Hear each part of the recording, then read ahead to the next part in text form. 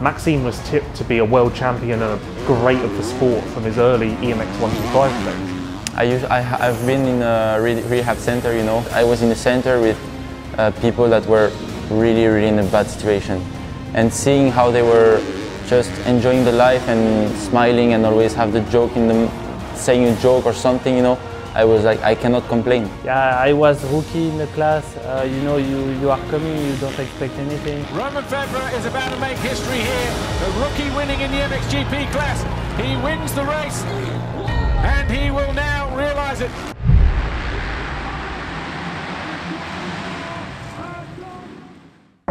I look at you then. Yeah. First of all, then, it's been a great season for you. Obviously, you've hit a very high level again for the first time in quite a while. How does it feel to reach those heights again and just be back to the best version of you? Because it has been a long time. Romain Febvre, big day for him. Eight points separate him and the championship leader, Tim Gajser. Is it going to be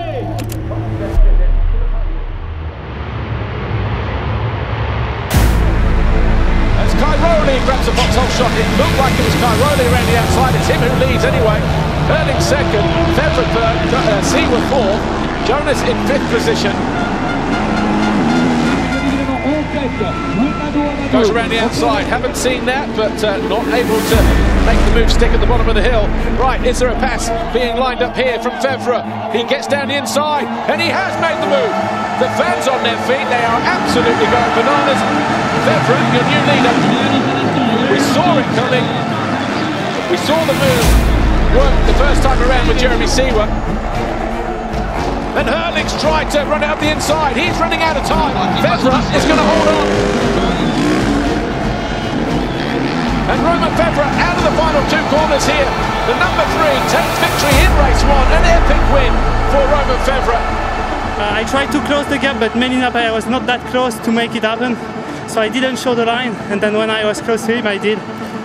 And yeah, make a lead, but uh, whew, with the lap rider, it came really tough at the end.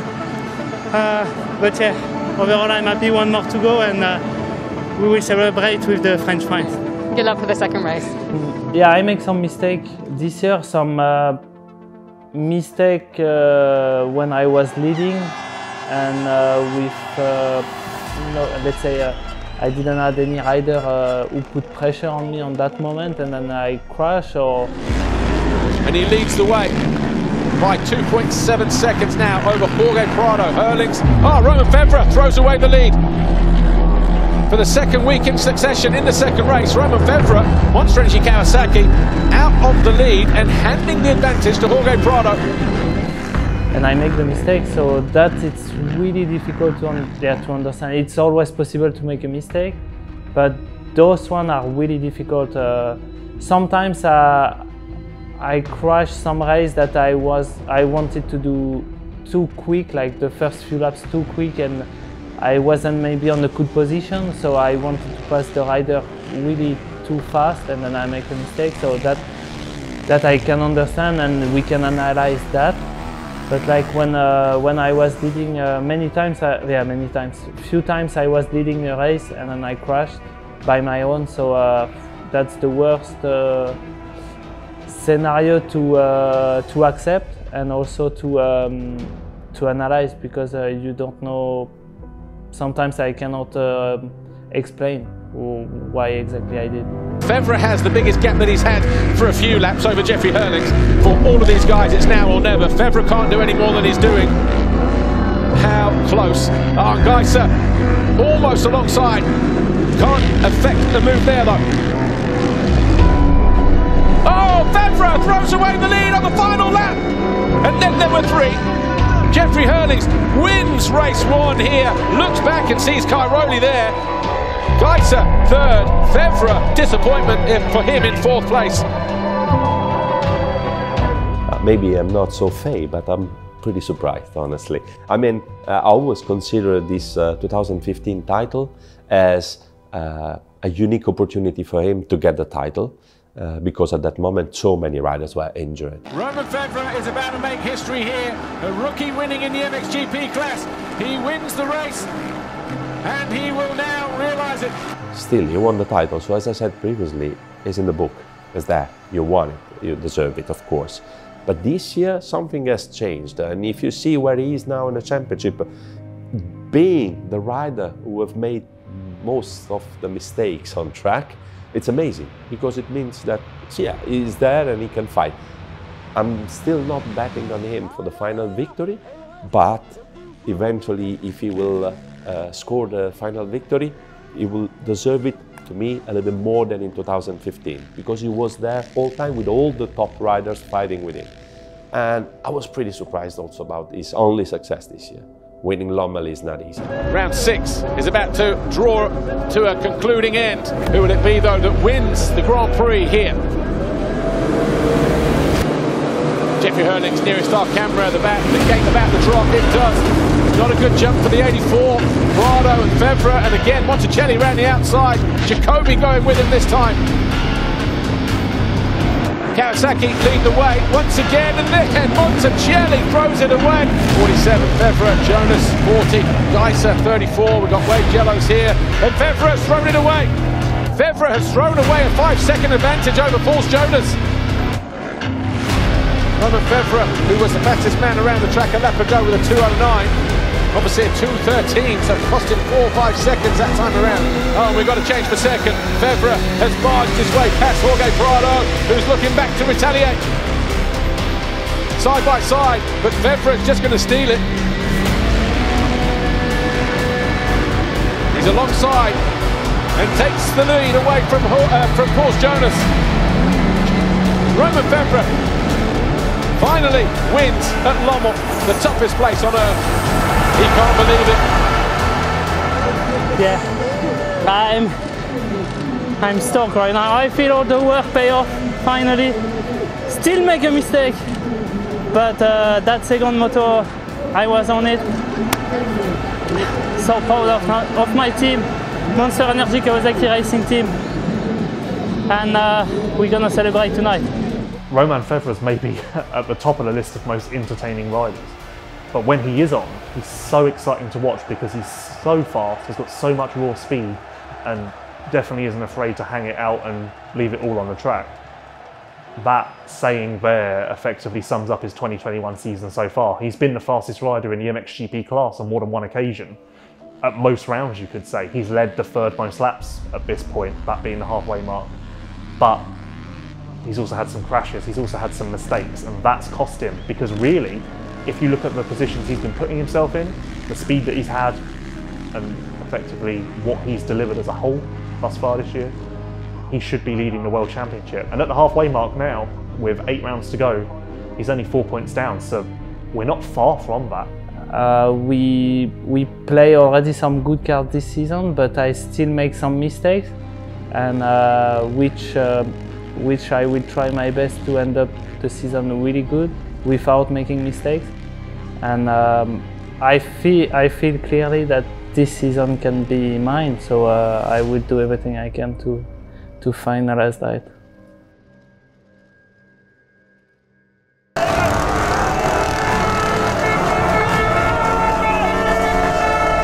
The Motocross of Nations is a special event. Um, motocross is an individual sport, much like every other type of racing. Team events don't really factor in, except for one time of the year when the Motocross of Nations or the Olympics of Motocross fires up, typically at the end of September, and pits country against country in a unique format that mixes 450s and 250s, Americans against Europeans. You just see a lot of, you see a different dynamic to what you do for the rest of the other 11 months of the year. That's what makes the Motocross of Nations so special and that's what makes it the biggest event in the sport. There's a reason why every fan, no matter their continent, no matter where they're based, no matter their background, there's a reason why every fan tunes into this event.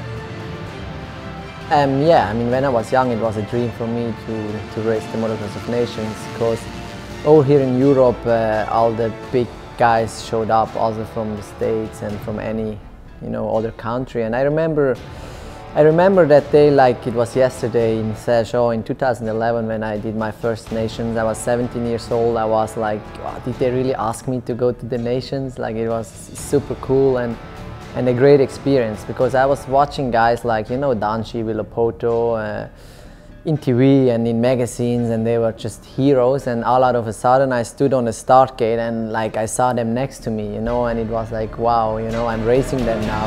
They all want a piece, so, um, but it, it's not bad, it's, it's definitely going to be good.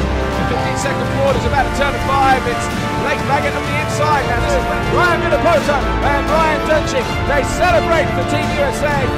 The whole Team USA crew, man, it was amazing from the now. And uh... my favorite motocross of nations, uh, the best memories I have from the first one because it was impressive for me, and I was just. Uh, yeah, it, it, was incredible. I will never forget that. And beside that, uh, I loved Assen and just because I was like doing really well and I was up front and, and winning the quality race. we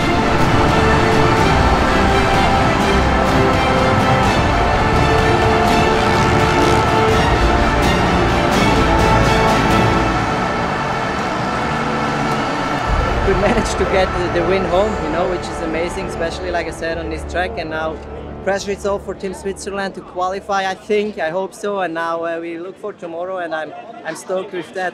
It's the moustache. It's the moustache. We're going to start with the ballot, and we have on their left-hand side the countries, right-hand side the numbers of the gate picks. Okay?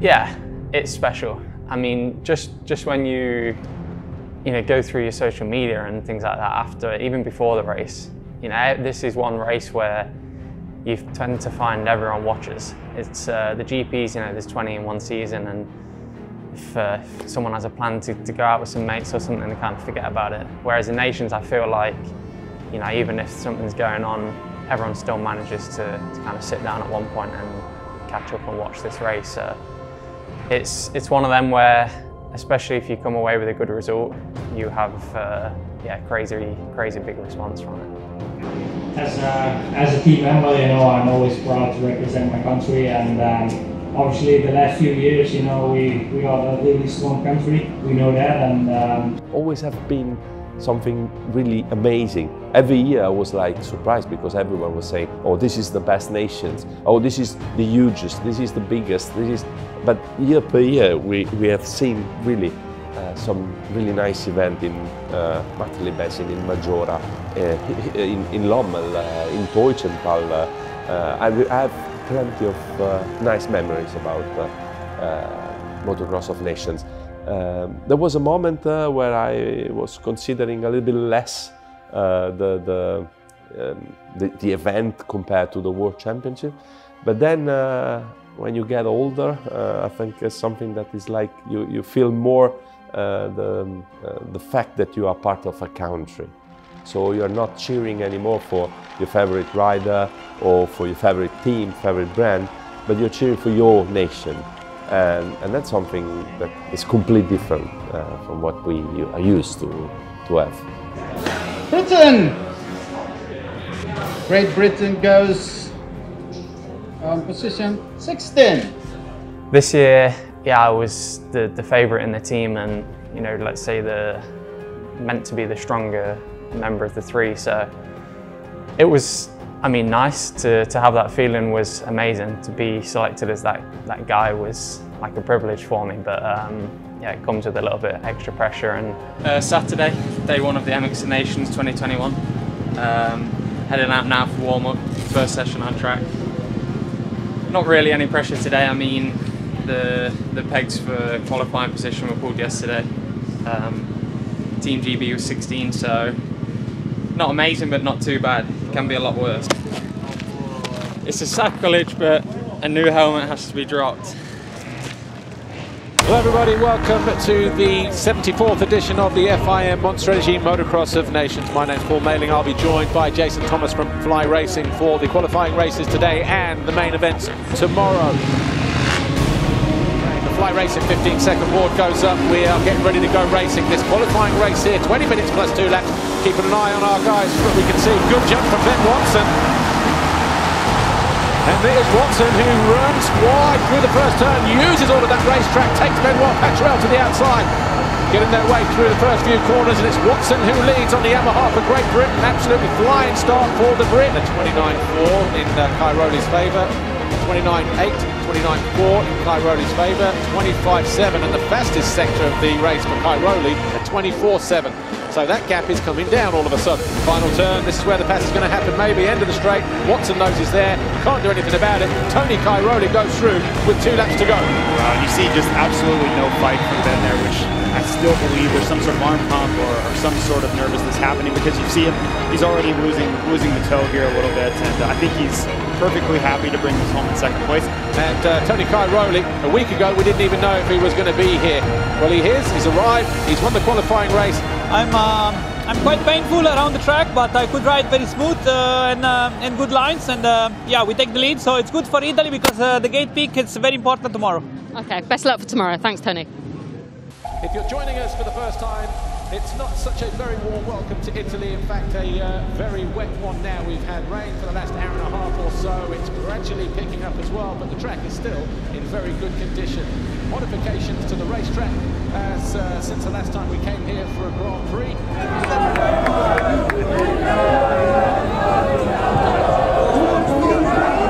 So yeah, Sunday, I mean, we came together as a team and and the strategy with the start was not really simple, but you know, you just listen to Mark in that way and, and kind of go with it as a team and make sure everyone's happy. And, and Shaun, you know, with his injury with the thumb, he decided that he would just go on the outside both motors and, and give the opportunities to me and Conrad to kind of achieve the best we could and, and have that opportunity to, to get a good start and, you know, have that clear track, let's say. So uh, of course, a little nerves, but most of the time it's uh, yeah, it's excitement, and um, yeah, I'm, I'm, just looking forward.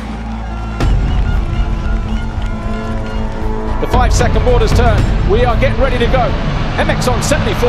The burst into life here in Mantova. It's going to be a very interesting first turn. And Cairoli around the outside, and uh, he and Coldenhoff both go down just what just what I was fearful of. That first turn, the outsides have not worked throughout the weekend, and they're already paying the price for it. So Cairoli, Team Italy, favourites Glenn Coldenhoff, the defending champions. Already drama here, going into the first corner in Mantova.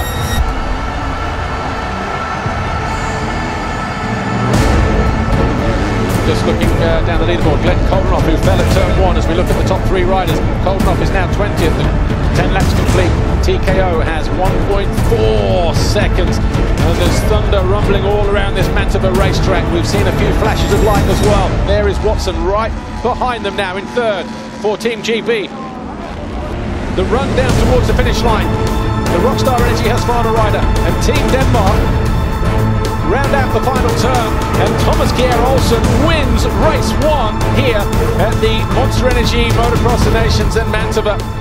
It was raining heavy, goggles were crucial, and it was a little, not in enduro mode, but you know, you needed to, to stay focused to make no mistakes. And for me, that was, was nice. Just kind of kept plugging away with each lap and yeah, third for the first race was solid for Team GB. And I, I followed, of course. I mean, I'm a racer and I've, you know, uh, I have it in my blood. So um, it was, you know, nice to see, like, especially Ben, you know, he's a great guy he's uh, doing good for a rookie, you know, you need to give him some time. That's just normal because the MXGP class is incredible tough at the moment. I think it's getting harder every year. I, I don't know really they ever stop to, you know, settle. And we are back live then with the race as it's about to go. We've got a green flag being raised imminently over on the backside of the grid. All the big hitters down the inside there. That's where we're going to keep our eye. There's a couple in the middle as well with Guarmang and the number one of Glenn Coldenhoff, who looks like he's getting a good jump as well. But Herlings closes the door on Kai Cairoli. Coldenhoff with a good jump coming out of the first turn. Cole Olsen, I think, is down. He is. Good start for Ben Watson as well for Team Great Britain. Here he is, third on his Energy Yamaha, the number seven. Yeah, everything was going good, and then I had one one big mistake and took quite a big crash though. And uh, oh, Ben Watson! Off the side of the bike, just grabbed his foot pegs. I was about to say they're tied on points, the Netherlands and Great Britain. But uh, with that crash, Graham, Ben Watson losing points and positions here. Anything can happen. I mean, we was we was running second and then third as a team, and then you know back down to, to 10th. So Ben Watson then lucky to pick himself up from that one. I think he may have fallen to four, so Coldenhoff would have gone through and taken a crucial point for the Netherlands. And Jeffrey Herlings is going to go 1-1 at the Motocross of Nations. And Italy are going to be crowned world champions. once again for the third time and for the first time since 2002. Yeah, about it. And uh, I was hearing the speaker that something was going on with Alessandro, and I was like, okay, it's the last chance I have to make it up, and uh, we make it up, so I'm really happy. The Team GB, yeah, I came over the line and the manager was there and he said, yeah, I mean, sure third, could be second because there's some you know ongoing penalties with Italy. And right, Team GB on the podium, third overall. Shaun Simpson, damaged thumb, heavily strapped up. They finished with 39 points. Shaun Simpson, Ben Watson, Conrad Mewse. Ben did amazing. I was so happy for him. I was watching the podium, you know, and he was just like smiling all over the place already because he was yeah third on the podium and then they came with the gold plate and he was like he didn't realize. He was like yeah me? Is it me? And then like yeah yeah. And he was just the happiest guy ever. And it was nice to see because Ben yeah he's a good kid. I he's my teammate so we spend uh, some time together and I like uh, to see him you know uh, succeeding. I know there were some guys missing and people were saying you know it's not the usual nations but honestly in, in 10 years when I'm not racing anymore and I look back and I'll go to the 2021 nations and I'll see the names on the list and and you know I'm the MXGP overall winner. I mean, it's there in black and white, and, and no one will take that away from me. So, as a a thing when I look back in the in the past, it's going to be yeah, like a great memory. Italy are world champions for the third time.